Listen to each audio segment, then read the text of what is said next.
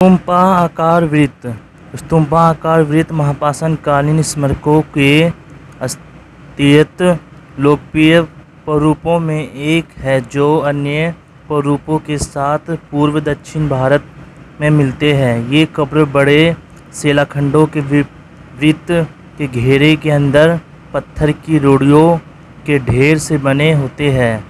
भूमिगत दफन के स्वरूप के आधार पर इन्हें तीन प्रकारों में बांटा जा सकता है। गर्त वाले दफन, सब पेटिका में दफन और चिता रूपी अथवा अन्य रूप के कप्स्म कलाश वाले दफन। स्तूपाकार वृत्तों के अंतर्गत गत वाली अत्योतियों में प्राकृतिक मिट्टी के घेरे गड्ढे खोदे जाते थे, जो आमतौर पर वृत्ताकार, वर्गाकार और आयताकार होते थे। कंकाली अवशेष और फर्नीचर इन गंडकों के फर्श पर रखे जाते थे। फिर भी ये गटके मिट्टी से ऊपर सतह तक भर दिए जाते थे। ये मिट्टी या तो उस गड्ढे को खोद कर निकलती निकाली जाती थी, अन्य कहीं और से लाई जाती थी। इस मिट्टी की भराई के ऊपर स्तूप, टीला का ढेर रखा जाता था, जो या तो पतली परत वाला अथवा ज़मीन की सतह से तीन से चार फीट ऊँचा होता था और उसे पत्थर, पत्थरों के वृत्त से घेर दिया जाता था। ऐसी गलत अथोष्टा चिंगलपुट, तमिलनाडु, चित्रदुर्ग और गुलबर्ग जिलों कर्नाटक में अनेक स्थलों में पाई गई है। शब्दाधिक अर्थ में सब पेटिका, मृदभूमि से बना ताबूत है। सब पेटिकाओं वाले स्तूपाकार वर्ग ग्रत त्योरिस्ट की तुलना में अधिक दूर तक फैले हैं। वह ऊपर में वर्गित ग्रत अत्योतियों जैसे है। लेकिन कंकाली अवशेष और फर्नीचर ने ढेर एक आयताकार मूर्ति वाली शव पेटिका में रखे गए हैं। ये शव पेटिका आमतौर पर एक उन्नत तौर दर वृत्त मूर्ति वाले ढंग से युक्त होती है जिससे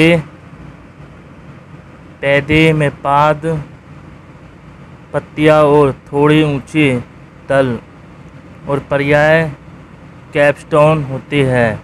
कहीं कहीं सब पेटिकाओं के पैर नहीं होते, लेकिन वह या तो मित्र, पात्रा अथवा भांड पर आधारित होते हैं, अथवा सीधे फर्श पर रखी जाती थी। इस तरह की महापाषाणकालीन संरचनाएँ तमिलनाडु के दक्षिण अकोटा, जिलपुट और उत्तरी खेत जिलों और कर्नाटक के कोलर ज़िले में पाई जाती थी। ये आंध्र प्रदेश के दक्षिणी जिलों में भी मिलती है, यद्यपि वहाँ उनकी संख्या अपेक्षाकृत कम है।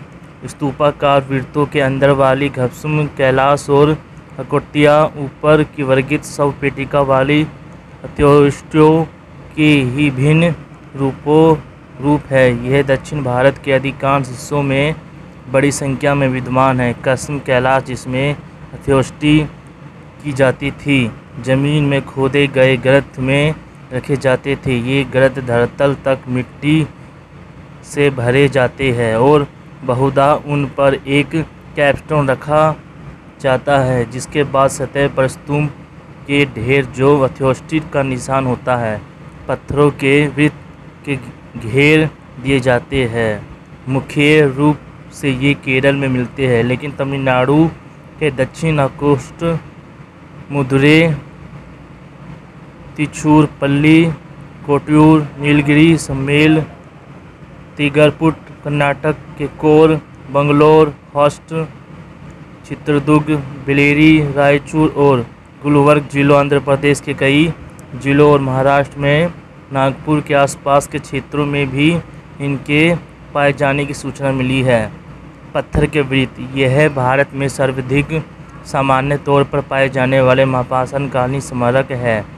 जिसे खुदाई कल्लू टोपिकल इत्यादि महापाषाणकालीन स्मारकों के विविध रूपों, ग्रंथों अथोष्टि के भिन्न प्रकारों, अधिस्तंभ, स्तूपों, स्तंभों, विभिन्न सतह के ऊर्ध्वकार पत्थरों वाले ताबूतों, स्तूपाकार वृद्धों इत्यादि का पता चलता है। यह प्रायद्वीप के दक्षिणी छोर से लेकर नागपुर के क्षेत्र तक और उत्तर भारत के विभिन्न भागों में जहाँ आपासन कालीन स्मारकों का पता चला है, उपलब्ध है, लेकिन इस श्रेणी में सिर्फ़ वैसे ही पत्थर के वृत्त शामिल है, जिसमें वृत्तों के भीतर स्तूपों के पर्याप्त भारी नहीं की गई और जो नाशपाती के आकार के भस्म, कैलाशों अथवा शव पेटिकाओं के साथ अथवा उसके बेर कठोस्ती गर्त वाले इस श्रेणी में स्मारक स्तूपोकार वृत्तों से सिर्फ़ इस अर्थ में भिन्न है कि इन वृत्तों में स्तूप स्तूपों के ढेर होते हैं और फिर भी अन्य बातों में स्तूप वृत्तों के अंतर्गत ऊपर में वर्गित सभी तीन प्रकार की श्रेणी में शामिल है। ऐसा लग ऐसा लग सकता है कि स्तूपाकार वृत्तों और पत्थर के वृत्तों में इस विभेदीकरण की कोई खास चाहिए नहीं है, लेकिन सिंगलपुट के निकट सानूर जैसे कुछ स्थलों में यह अगल बगल लेकिन अलग अलग समूह में मौजूद है। इसलिए कुछ विभेदों के आधार पर वह वृत्तिक श्रेणियों में रखे जाते हैं।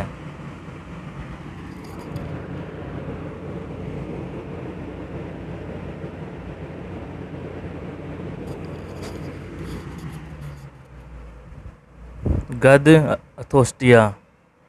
अथोस्टिया को नाशपाती अथवा कूटे के आकार वाले कस्म कैलाशों में सब के बड़े शुक्र अथवा हाथ के आकार वाले मतभान में अथोस्टिक सामग्रियों के साथ वैसे ही भूमिगत में दफन किया जाता है, जो खासकर इसी उद्देश्य से कड़ी प्राकृतिक मिट्टी और कभी कभी आधारभूत चट्टान में खो, खोदे जाते हैं। जाते हैं और फिर भी इन गाढ़ों को भर दिया जाता है। ऐसी अथोष्टियों में सतह पर पत्थर में विद स्तूप के ढेर, होडस्टोन अथवा हेड कैपस्टोन यहाँ तक कि सीधा श्रम स्तंभ का भी कोई चिन्ह नहीं होता।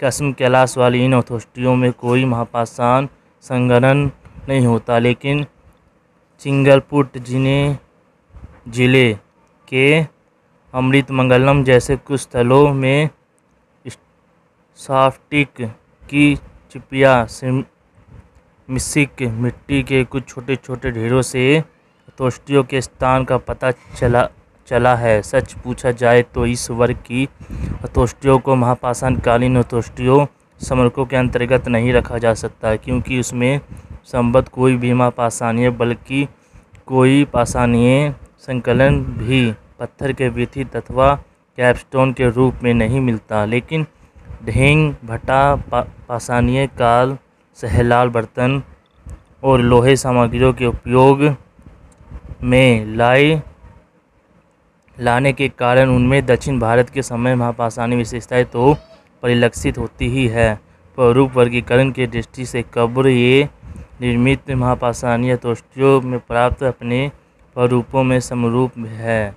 इसके अंतरित पर्याय, ये पर्याय उन्हीं क्षेत्रों में है जहाँ ढेंग महापाषाणकालीन हथोष्टियों पाई जाती है। वास्तव में सतह की आकृति को छोड़कर कसम कैलाश वाली यह हथोष्टियाँ महापाषाणीय व्यवस्था, पत्थर या वृत्त के अंतर्गत श्रम कैलाश वाली हथोष्टियों से अन्य किसी रूप में भी भिन्न है। महापाषाणी संघों में रहित कसम, कैलाश वाली यह थोष्टियों तमिलनाडु में आदिजन, कल्लू, गोपाल सीमा, पारुबु अथवा दर्जों अन्य स्थलों, खासकर मुदेर, चिचूरपल्ली, कोटोबल्लू, सोम और दक्षिण कोटो जिलों में प्रत्येक गाँव में पाई गई है। हाँ कर्नाटक और आंध्र प्रदेश में यह अवश्य ही कम है। उत्तर, पश्चिम मध्य और पश्चिम भारत में उत्तरकालीन कब से पाषाण काल के अन्य स्थलों में दिखलाई पड़ती है, लेकिन इसका स्तंभ दक्षिण भारत की कसम कैलाश वाले तोष्टियों से अपूर्ण भिन्न है। लेकिन उत्तरवादी का पूर्णवाती से किसी न किसी रूप में गोत्रीय संबंध हो है ही। कब्रों के टीले, कब्रों के टीले अथवा मिट्टी के टीले, भूमिगत दफन में पृथक किस्म के है, वह वृद्धाकार अथवा गोल आयताकार अथवा अंडाकार हो सकते हैं, वह पत्थर के वृत्तों अथवा खंडकों के घेरे भी हो सकते हैं और नहीं भी। भारत में इस तरह के कसमरक बड़ी संख्या में नहीं पाए गए हैं। फिर भी कर्नाटक के हासन ज़िले में ऐसे स्मारक उपलब्ध हुए हैं। दोस्तों, ये इसके हथियार है जो आप ये देख सकते हो। ये औज़ार हैं उनके महापाषण महापासन कालीय जिनके नाम दे है मानवीकृत, तुस्की, तलवार, भाले, छन्ना, कांटेदार, छरकी, परसू, कुठार, सकदिन, कुठार, दुलारी, कुल्हाड़ी छडमुना कुठार महापाषाण कालीन हथोष्टियों में कब्र की सामग्रियाँ। महापाषाण कालीन हथोष्टियों से लेकर अनेक प्रकार के पदार्थ मिले हैं, जो महापाषाणी संस्कृति के अध्ययन के लिए बहुत महत्वपूर्ण है। ऐसा पाया गया है कि उत्तर पुरापाषाण काल से ही अनेक कारकों से मितिक और अभिप्राय अथोष्टि प्रदान की जाती है। महापाषाण कालीन जन समाज चिरकालीन रीति रिवाजों के अपवाद नहीं थे और इसलिए उन्हें विशाल और भारी श्रम संधि संधियों के निर्माण के कष्ट उठाए। उन्होंने उन समाधियों को आवश्यक सामग्रियों के संभव स्वीकृत किया।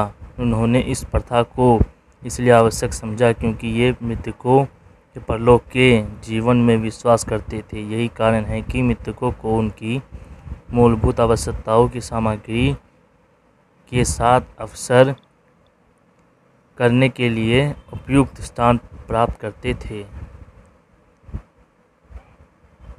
भारत, विशेषकर दक्षिण भारत में महापाषाण संस्कृति में कब्र में रखे जाने वाले उपस्कर में निम्नलिखित वस्तुएँ शामिल थी। अनेक प्रकार के मित पात्र मित भांड औज़ार उपयोग, जिससे अधिकांश लोहे के और अनेक पत्थर या तांबे के बने होते थे पक्की मिट्टी से बने मखमने मूल्य, अपमूल्य पत्थर, सोमा, तांबा, सीप इत्यादि जो गले के हार में पियोए जाते थे, अथवा कभी बाहर कान या नाक के जेवर बाजूबंद अथवा कंगन का मुकुट। साथ ही वैसे ही भूसी की विद्यमान था, के संकलित होता है। धन तथा कुछ अन्य प्रकार के अनाज, पशुओं की कंकाली अवशेष भी मिले हैं। जीविका प्रवृत्ति, उपलब्ध पुरातत्विक अवशेषों, पुरा वनस्पतिक और पूरा जंतु समस्या का यूएस मूर्ति उन्नीस द्वारा किया गया विस्तार विश्लेषण और कर्तव्य पर्यावरणीय कारकों से उसके पारस्परिक संबंध एक ऐसी महापाषाणकालीन काल की महापाषाण काल की अर्थव्यवस्था का संकेत देते हैं, जो मुख्यतः कृषि पशुचारी थी और उसमें अन्य प्रकार के शिल्प महत्वपूर्ण भूमिका निभा रहे थे तथा प्रत्येक उसमें सभी एक दूसरे से सहजीवी संबंध में जुड़े हुए थे। अब हम उस काल की जीविका प्रवृत्ति पर विस्तार से चर्चा करेंगे। कृषि। महापाषाण काल के दौरान उनकी अर्थव्यवस्था कृषि आधारित थी। दरअसल महापाषाणकालीन निर्माताओं ने सिंचाई पर आधारित कृषि की उन्नत विधियों को बड़े पैमाने पर लागू किया था।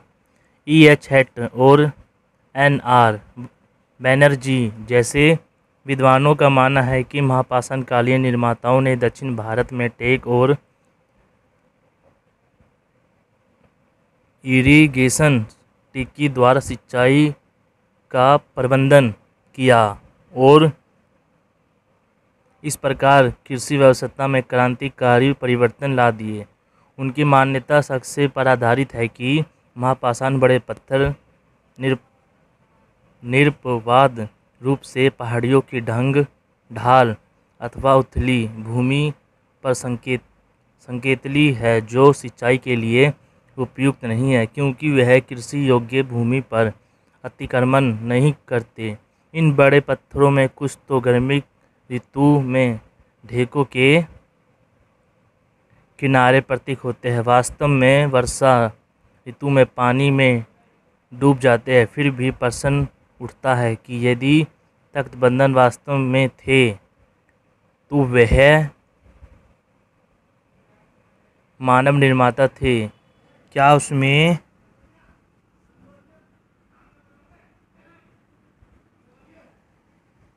जमा किया गया पानी खेती के लिए पर्याप्त था। कुछ स्थलों कुछ स्थल नदियों के तट पर है। क्या इस अर्थ ये है कि महापाषणकालीन जन समाज नदी के जल को कृषि के काम में ला रहा था? फिर भी कुछ स्थल तो जंगल में मिले हैं, जिनमें ना तो सिंचाई के लिए भूमि और ना कोई कुंडा। अनेक स्थल ऐसे हैं जहाँ कुंडा नहीं है। अप्रोच समस्या के आधार पर भी नरसिंहा मानते हैं कि दक्षिण भारत में कुंडा सिंचाई का प्रबंधन करने वाले महापाषाणकालीन निर्माता नहीं थे। निश्चय ही यह एक सुविधित तथ्य है कि प्रौद्योग प्रौद्योगिकी हासिल काल से ही मानव समाज ने वहाँ रहना शुरू किया, जहाँ उनके निर्वाह के लिए जल का निस्ताही स्रोत मौजूद था। यह कुंडा इसलिए ऐसे प्राकृतिक समार समरोवर रहे होंगे जो उनकी दैनिक आवश्यकताओं के लिए जलपूर्ति तो करते थे, लेकिन सिंचाई के लिए नहीं, फिर भी अधिकांश विद्वानों का विश्वास है कि यह सरोवर उनके घरेलू जीवन और उनकी फ़सलों के लिए जल की आपूर्ति करते थे। उनके अनुसार कुंड सिंचाई प्रणाली दक्षिण भारत में निश्चय ही महापाषाण कालीन निर्माताओं द्वारा लागू की गई। यह प्रणाली 2500 वर्षों से अधिक अब तक चल रही है। इस अति प्रबुंध और व्यवहार कुशल समुद्रों ने यह ध्यान में रखा कि उपजाऊ कृषि योग्य भूमि उनकी कब्रों के अतिक्रमण के कारण बेघर नहीं हो जाए।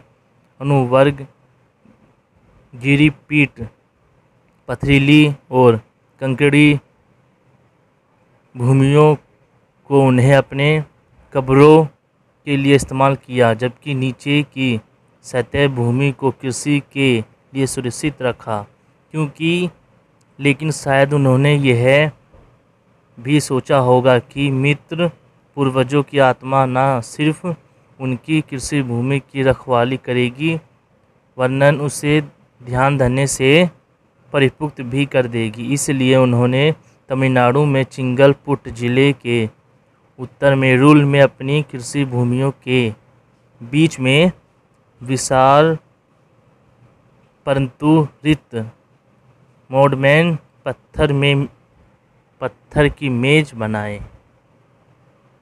चावल तो चावल जो मुख्य सिंचाई आधारित फ़सल है, निश्चय ही उनका मुख्य आहार था धन की भूसिया और बिखरे धान। ये दाने की सूचना संपर्क क्षेत्र में अनेक खोदी गई कब्रों से मिली है, जैसे कि संगम साहित्य अनुप्रमाणित किया गया चावल अतीत प्राचीन काल से ही दक्षिण भारत के लोगों का मुख्य आहार रहा है और आज भी है।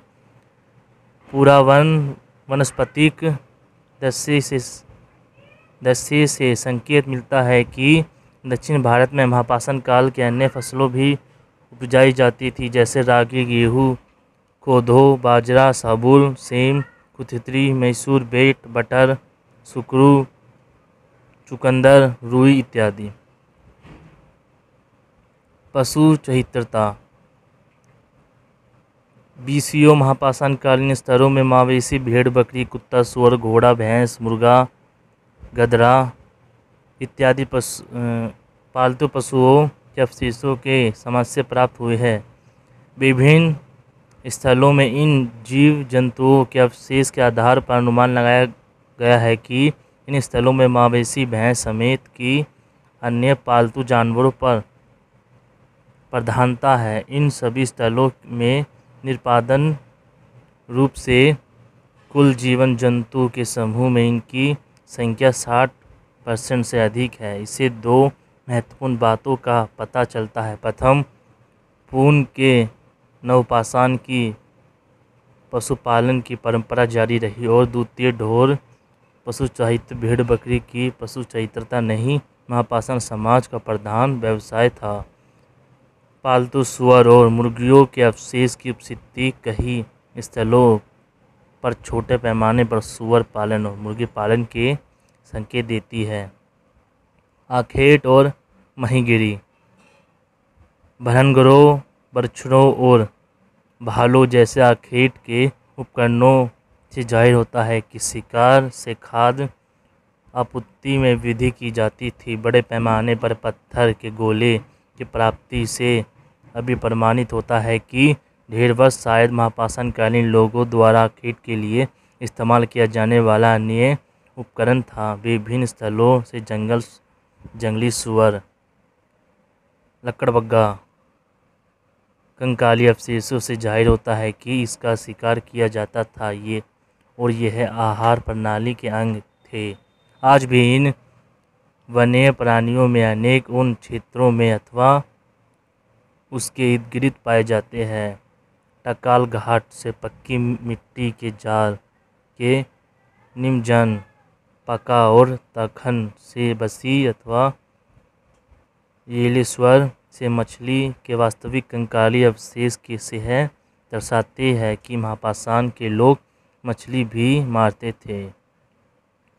प्रौद्योगिक उद्योग और शिल्प, घरेलू और संस्कृति मसलों में अन्य सामाजिक आवश्यकताओं को पूरा करने के लिए सहायक आर्थिक कार्य काल्पक की कुशल संरचना अध्यावा अध्यावश्यक और उद्योग घंगों से संबंधित क्रियाकलाप, लाहौर, कुटाईगिरी, कुम्भकारी, मणिकारी, डालिया निर्माण और वस्त्र तक जो महापाषाण समाज के अन्य आर्थिक कार्य थे, का वर्णन नीचे दिया जा रहा है, क्योंकि इसमें और उत्पादन की प्राथमिक विधियों और अन्य